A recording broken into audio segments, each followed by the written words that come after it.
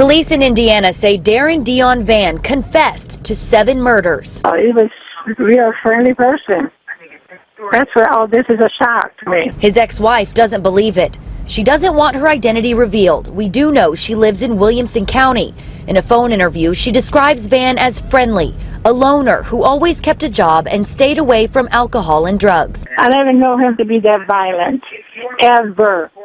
Ever. In 2008, when the couple had separated, Austin police arrested Vann for raping a woman in this Northeast Austin apartment complex. DNA linked him to the crime, and he took a plea bargain to spend only five years in prison for the lesser offense of sexual assault. Mindy Montford is a criminal defense attorney and former prosecutor for the Travis County District Attorney's Office. She did not work this case, but she has worked sexual assault cases on both sides and says oftentimes a plea deal is sought to avoid an acquittal. So it's real easy for us now to say, well, it was only a five-year sentence.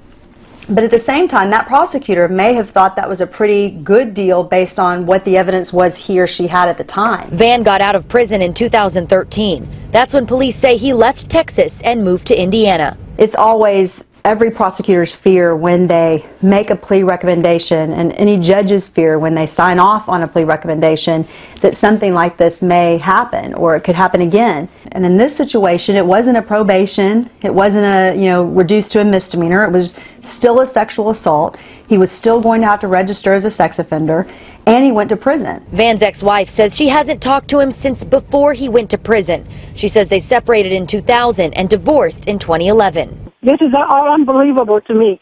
This is a shocker. A total shock. Austin police told us today in a situation like this, they will look at the time frame a suspect lived in Austin and compare the facts to see if any connection can be made with any current cold cases. They currently have 167 cold cases and say any tip could help solve them.